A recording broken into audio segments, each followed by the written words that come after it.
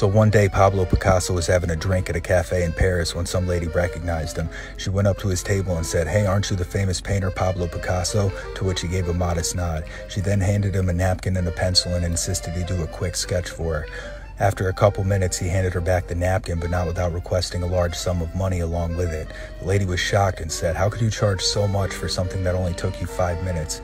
He paused and said, My dear, you're wrong. It took me 40 years to do in five minutes.